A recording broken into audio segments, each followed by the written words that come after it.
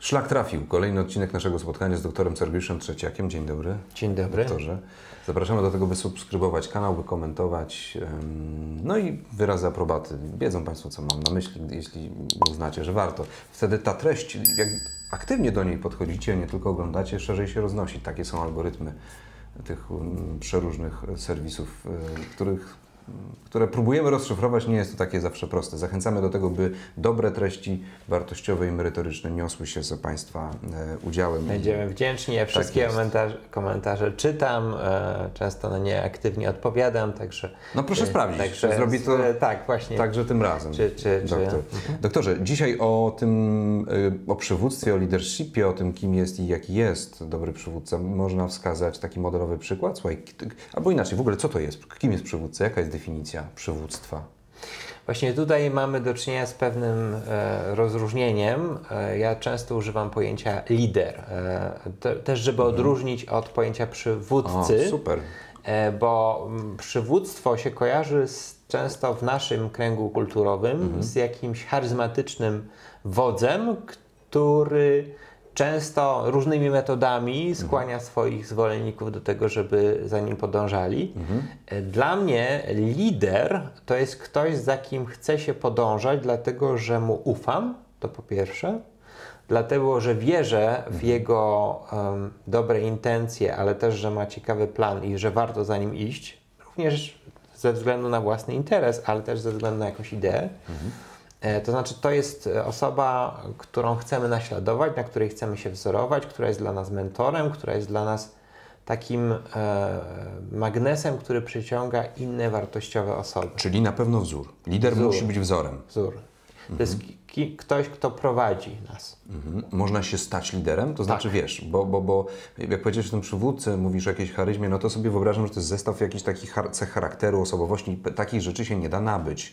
M, Pewne się rzeczy ma. A jak to jest liderem? To znaczy, to nie jest, y, żyjemy jakimś mitem, że ktoś Aha. jest urodzonym No tak, przywódcą, tak. że już w kołysce wyglądał na, na urodzonego przywódcę. Tak to nie działa. Znaczy, przywódcą można się stać i można decydować o tym, że ja chcę być y, Liderem. liderem. Tak, przepraszam, no, używamy czasami y, zamiennie tych słów, ale powiedzmy, że trzymajmy się tego słowa lider, Dobrze. żeby nie było mm, wątpliwości, że nie mówimy o wodzu, o urodzonym wodzu. Lider to jest właśnie osoba taka, która rozwija się, mm, uzyskuje wiedzę, umiejętności i stara się wokół siebie zbudować jakieś zaplecze. Dla mnie idealny lider to jest lider, który jest mentorem e, i stara się być mentorem dla innych liderów.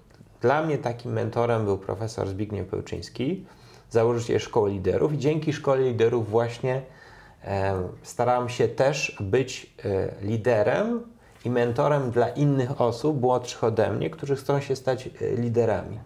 Starałem się im pom- pomagać poprzez właśnie aktywność Polskiej, Polskiego Instytutu Liderów, robić szkolenia, konferencje, kursy.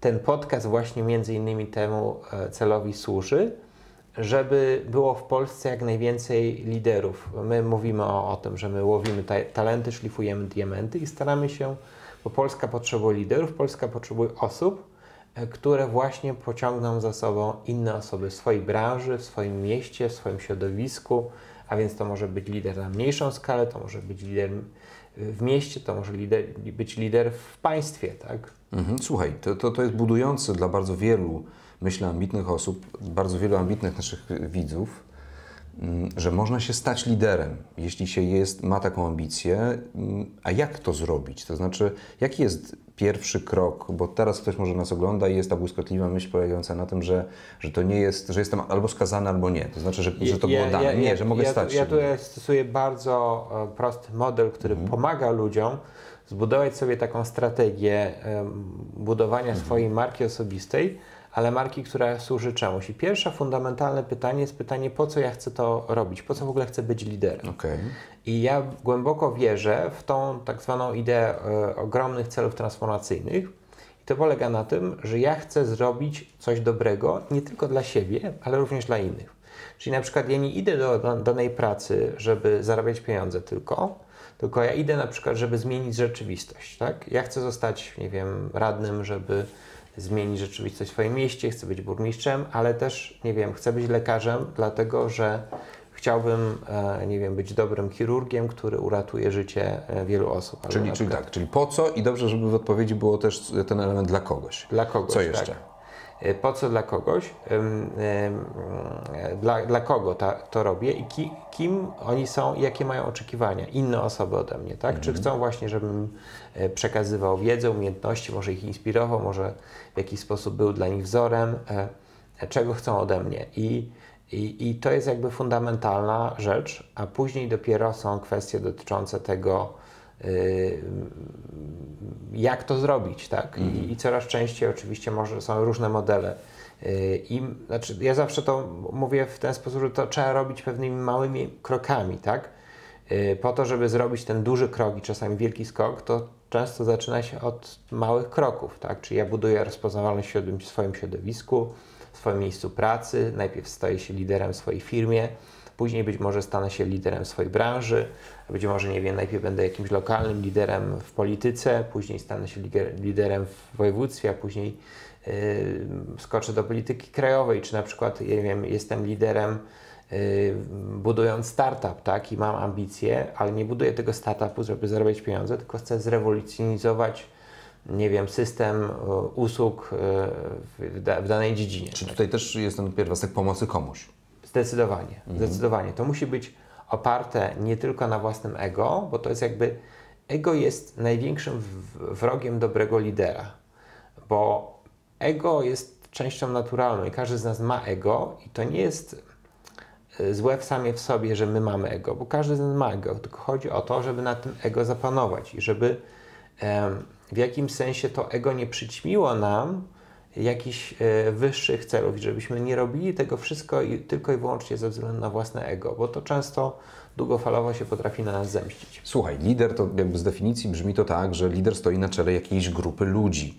Jak zatem zbudować e, skuteczny zespół, Trzeba ludziom pomagać. To jest najlepsze, najlepsza recepta. Jeżeli chcesz, żeby inni pomogli Tobie, to najpierw im pomóc. Ja często stosuję taką zasadę. Jeżeli tylko mogę, lubię pomagać. Oczywiście nie każdemu, nie, nie wszędzie, nie w każdej możliwości, nie, nie sposób czasami pomóc wszystkim, ale y, dlatego my staramy się robić taki mechanizm selekcji, że staramy się pomagać tylko tym osobom, które, y, które wiemy, że będą pomagały innym, tak? Czy, czy, czy to też jest jakby pewien e, element, że jeżeli e, budujemy swój zespół, no to chcemy znaleźć takich ludzi, którzy dalej później będą pomagać innym ludziom i budujemy to na zasadzie pewnych e, e, etapów, tak? Bo mamy swoich, jesteśmy mentorem dla innych osób, a dalej te osoby są mentorami dla innych osób i dzięki temu budujemy duże środowisko, tak? Bo nie jesteśmy w stanie oddziaływać na wszystkie, ale jeżeli naszym celem jest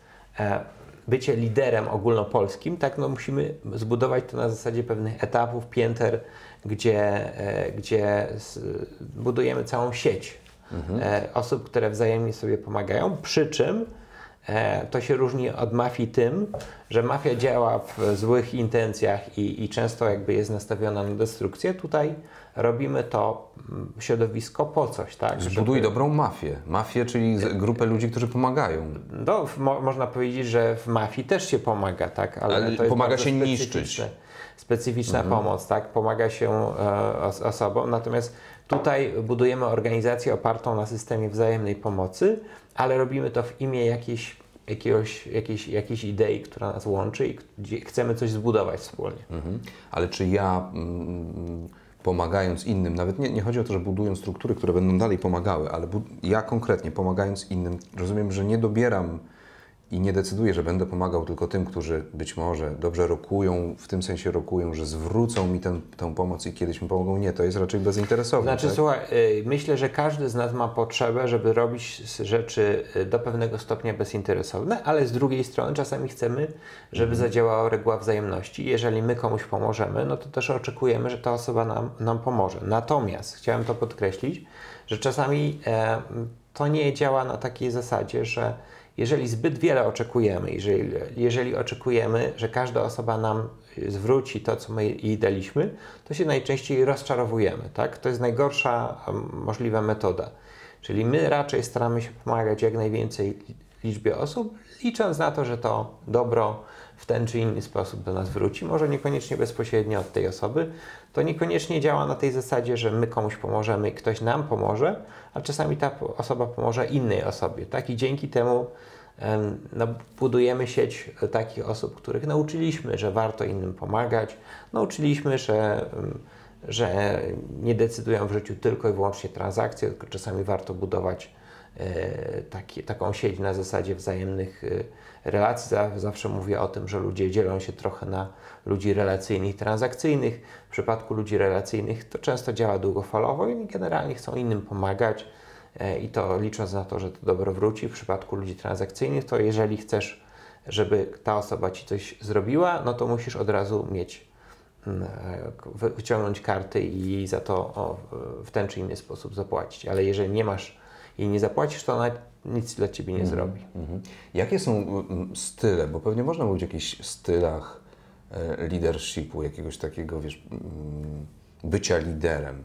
Można mieć taki styl, pewnie wsłuchując się mocniej w głos zespołu, czy, czy, czy mniej, bardziej licząc na to, że moje decyzje są mądre, bez względu na to, co mówią, jakie są style? Czyjem, oczywiście tych stylów jest, jest mnóstwo, natomiast y, często porównuje się taki styl, y, dwa skrajne style, mm znaczy z jednej strony styl au, au, autorytarny, no czyli właśnie lider trochę, Narzuca. chociaż nie wiem, czy to jest dobry, dobry model, bo już nie mówimy o liderach, no tylko o guru. Tak? No I styl guru to jest taki, że ludzie wierzą tak bardzo w, w guru, że wykonują każde, nie wiem, polecenie mądre czy głupie, po prostu wierzą w jego niemalże nieumylność. Mhm. I dla samego guru to jest mechanizm niebezpieczny, bo ja zaczynam żyć w bańce i oczywiście to może być przyjemne, bo często guru jest finansowany E, przypomina to swego rodzaju takie e, jakby własne, buduje własne, e, własne środowisko, tak? Ale wiemy często,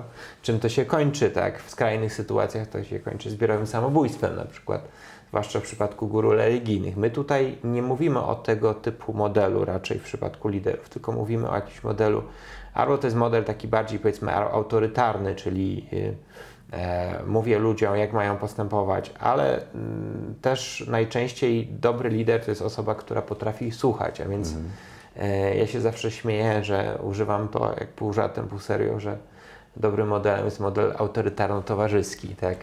Czyli z jednej strony buduję swój autorytet i to nie jest do końca tak, że nie jestem dla ludzi autorytetem, ale jak trzeba, to po prostu potrafię z ludźmi się spotkać, y, rozmawiać, słuchać i traktować ich na zasadach partnerskich. Myślę, że ludzie to doceniają. Ja obserwuję to szczególnie właśnie u młodszych osób. Mhm. Jeżeli one widzą, że ich potencjalny mentor nie traktuje ich jako e, kogoś, kto jest głupszy, znaczy ja na przykład mam taką regułę, że wśród moich współpracowników ja zawsze chciałbym, żeby to były osoby lepsze ode mnie, tak?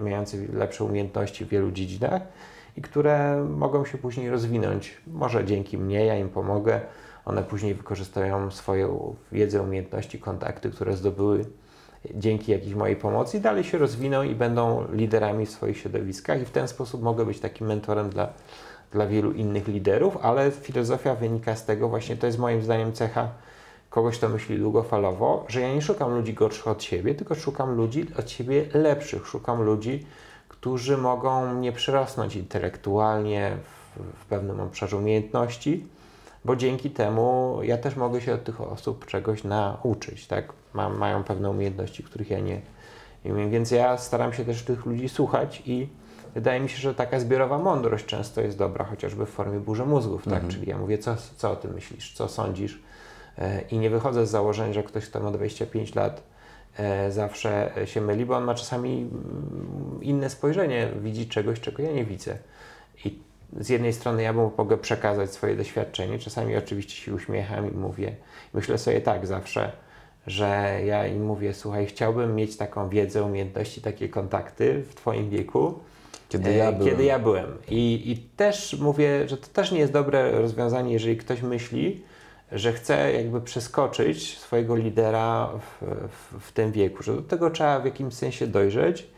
I no, to jest trochę tak, że jak na szczyt czasami zanim, za, zamiast wbiegać, no to czasami warto wchodzić, rozejrzeć się dookoła, czasami się zatrzymać chwilę, żeby później móc bardziej to docenić, bo jeżeli ktoś za, za szybko osiąga sukces, no to z jednej strony mogę mu pogratulować, a z drugiej strony muszę go ostrzec, żeby mu mhm. sodowa do głowy nie uderzyła, żeby mm, no, nie był przekonany właśnie o swojej jakiejś tam nieomylności, a poza tym tego rodzaju szybkie kariery często skończą się spadkiem z wysokiego konia. To jest szczególnie widoczne w polityce, ale też jest szczególnie widoczne w biznesie. Zauważmy, że ludzie, którzy osiągają sukces, na przykład tworząc jakiś startup, czasami no, różnie się ich losy potrafią później potoczyć. Mhm. A powiedz proszę, jakie, jakie cechy, które, które nasz y, widz, który ma ambicję zostać liderem, bo już przekonałeś go, że, że można się stać liderem, nie trzeba się nim urodzić Jakie cechy mogą w tym pomóc y, i, i, jakie po namierzeniu i zlokalizowaniu, sprawdzeniu, że ja mam takie, warto pielęgnować i wzmacniać, a jakie wręcz przeciwnie mogą przeszkodzić? To jest taki dobrze pojęty upór w sensie konsekwencji w dążeniu, w dążeniu mhm. do celów. To jest moim zdaniem fundamentalne, bo bardzo wielu z nas ma słom, słomiany zapał mhm. i to mhm. jest jakby też cecha Mówi się o młodym pokoleniu, pokoleniu dwudziestolatków, że oni często mają słomiany zapał, ale myślę, że to jest jakby szerszy problem. Że często mamy, zapalamy się do pewnej idei, nie jesteśmy konsekwentni, uważamy, że możemy osiągnąć to szybko, mhm. a jeżeli nie osiągamy tego szybko, to się Porzucamy. często zniechęcamy i mhm. szukamy czegoś innego. I, I, to jest jakby największe, największe zagrożenie. Czyli, czyli z jednej strony trzeba mieć ambicje, z drugiej strony konsekwencje i upór w dążeniu do, do celu i patrzeć na to długofalowo. I przede wszystkim nie traktować porażki jako mm, coś złego, tylko coś nieuniknionego, że każda mhm. porażka jest ym, drogą do, do celu. Im więcej mam porażek, tym więcej potencjalnych zwycięstw. To jest tak jak y, z eksperymentami wielu, wielu, wielu wynalazców, tak, którzy my widzimy na przykład, podziwiamy Leonardo da Vinci e, z największych dzieł, ale nie wiemy jak do tego dochodził, ile miał zapisków, ile rzeczy, że tak powiem, mu nie do końca wychodziło, ale on doskonalił e, te rzeczy, więc jakby to dopiero wychodzi po analizie jego, jego dzienników, który prowadził, różnych y, rysunków, które, które miał, że jakby często jakby ocenianie go e, z punktu widzenia tylko jednego dzieła, tak, ostatniej wieczerzy na przykład, e, no to, to, to jest jakby błędem, tak. Czy można przestać być liderem? Czy liderem się jest do końca życia, jak już się... Można być upadłym liderem w, te, w, tym, w tej sytuacji, że jeżeli jakby zrobimy coś... E, znaczy to jest jakby szczególny problem z jakby zbudowaniem swojej marki osobistej. Jeżeli budujemy e, tą markę opartą na fałszu i on chodzi, wychodzi jakoś mhm. na światło dziennie, no to często takie osoby upadają, bo upada ich mit, ich, ich marki. Okazuje się, że to wszystko jest zbudowane na kłamstwie. I w tym momencie ktoś, kto się wydawał liderem, nagle ludzie przestają mu wierzyć, tak? bo okazuje się, że cały czas byli oszukiwani.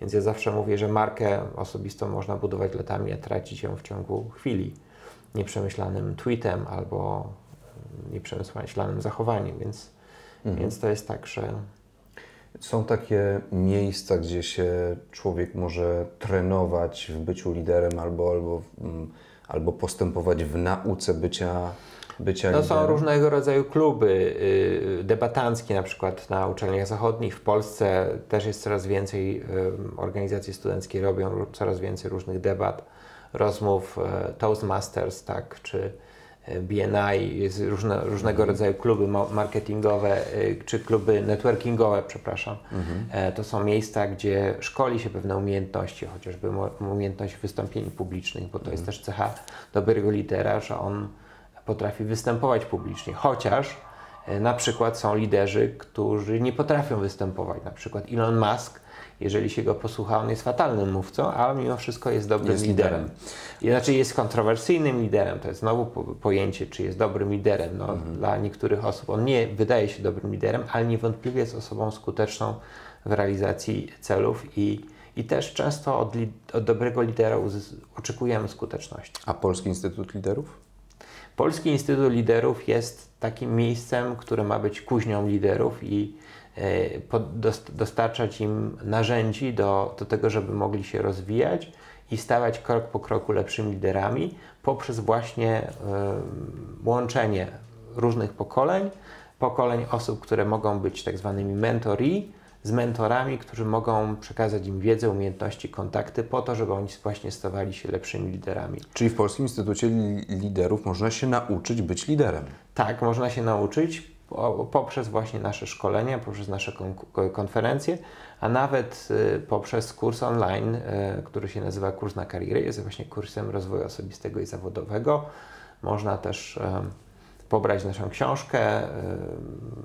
Y, Także jest wiele różnych możliwości nawiązania y, relacji i uczenia się. No, można też poznać, y, można też poznać liderów, zobaczyć jak inni pracują. I Tak, no ja jestem, ja jestem osobą bardzo otwartą i czasami ktoś do mnie pisze e, z ulicy e, i ja zawsze staram się rozważyć taką osobę, jeżeli ktoś chce nawiązać z nami współpracę, wys- wysyłać swoje CV, e, to zapraszam. Ja uważam, że trzeba dawać każdej osobie szansę, jeżeli tylko uznamy, że z jednej strony na to zasługuje, z drugiej strony mamy takie możliwości, żeby tej osoby zapewnić warunki, bo też e, nie, nie zawsze i nie każda osoba, nie każdą osobę jesteśmy w stanie w jakimś sensie zagospodarować, ale wydaje mi się, że jeżeli ktoś jest ambitny, e, chce być liderem, e, to to jest najlepszy sposób właśnie, żeby się uczyć od innych osób, którzy już są liderami. No, y, y, ja mam takie wrażenie, że czasami te najbardziej banalne powiedzenia wyświechtane, wydawałoby się, że one są nic nie warte, ale jest dokładnie odwrotnie. One czasami zyskują na wartości głównie wtedy, kiedy człowiek ma już swoje lata i dojrzewa i rozumie, że na przykład dla chcącego nic trudnego, prawda? Ile razy to Państwo słyszeli? Y, Śmieszne? Właśnie nie. Okazuje się, że to jest pewna zaklęta prawda, tylko trzeba doświadczenia, żeby Tak, i- zrozumieć sens i- takiego I powiedzenia. co, coraz bardziej przekonuję się do tego, że nie bądźmy zakładnikami własnej przeszłości, osobowości, traum itd., itd., bo ktoś często komuś coś wmówiono, że czegoś nie potrafi albo coś nie może zrobić. Czyli ten tak zwany mindset jest kluczowy, bo jeżeli uwierzymy w to, że jesteśmy w stanie wiele rzeczy osiągnąć, no to na pewno będziemy skuteczniejsi w tym, co robimy. I jeszcze jedna rzecz, możemy kształtować własny charakter. I, I do tego też namawiam, żeby stawać się coraz doskonalszym i nie wzorować się na innych, bo to nie ma sensu. Wzorować się na być najlepszą wersją samego siebie, niezależnie od tego, jak to może zabrzmieć trywialnie, bo ktoś może powiedzieć znowu jakby trywialne hasło, bądź lepszą wersją samego siebie, ale stawiając się codziennie lepszym, robiąc coś dobrego dla innych, ja głęboko wierzę w tą ideę, że jednak e, zgodnie z piramidą Maslowa, po zaspokojeniu podstawowych potrzeb fizjologicznych, bytowych i tak dalej, w pewnym momencie ta potrzeba samorealizacji oznacza to, że chcemy robić coś dobrego dla innych, bo z tego czerpiemy satysfakcję, radość życia i to je, daje nam prawdziwą radość, nie tylko drobne przyjemności. Doktor Sergiusz Trzeciak, bardzo dziękuję. Dziękuję bardzo. Zachęcam, by zasubskrybować kanał, by skomentować, yy, zalajkować, jeśli mają Państwo ochotę. Będziemy zobowiązani. Będziemy bardzo wdzięczni za każdy komentarz, Tak like. jest. No i treści się potem trochę szerzej niosą dzięki Państwa aktywności. Bardzo dziękujemy, Dziękuję. pozdrawiamy. Patrycjusz Wyżga, kłaniam się i do zobaczenia.